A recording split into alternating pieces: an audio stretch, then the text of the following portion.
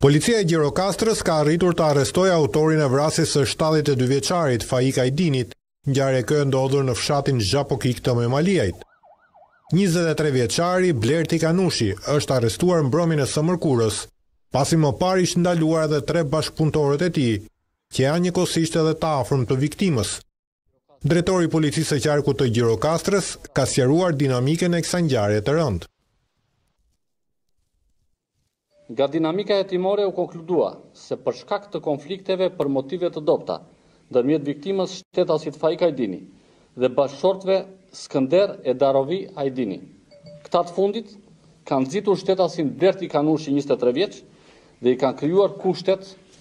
dhe siguruar mjetet për kryerjen e vrasjes. Ky shtetas, në bashkëpunim me shtetasin Skënder Ajdini, më datë nëntëmbëdhjetë gusht dy mijë e njëzet e katër, rreth orës shtatë të mëngjesit, kanë kryer vrasjen me thikë të shtetasit Faik Ajdini e më pas Blerti Kanushi është larguar nga vendi i ngjarjes. Pas kryerjes së krimit, Skënder Ajdini me shtetasen Darovi Ajdini kanë kryer veprime aktive për pengimin e zbulimit të së vërtetës,